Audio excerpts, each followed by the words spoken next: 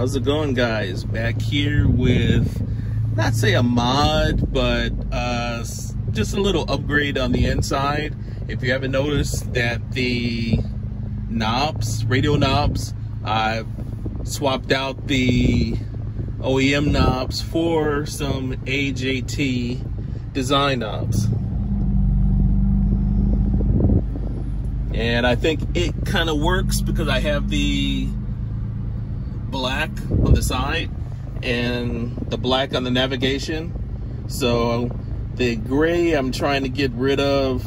Of course, the OEM radio is gray, so I'm not going to be able to get rid of that unless I get a brand new radio.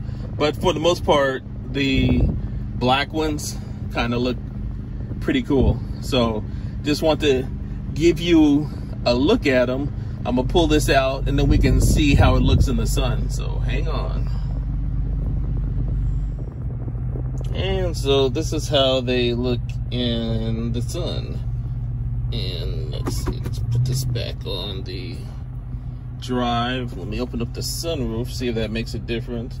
Not too much, but as you can see, they're just plastic, but the black looks a little bit more rugged uh, than the gray ones. I'm going for the more sporty look than the elegant look. So uh, I think I accomplished that.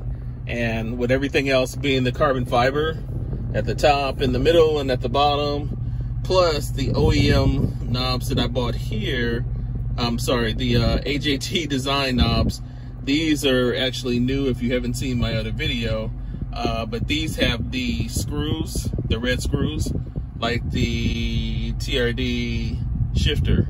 So uh, but unfortunately, the little ones don't come with red screws, but they still look cool anyhow. So uh, I just want to give you a look and see what they look like.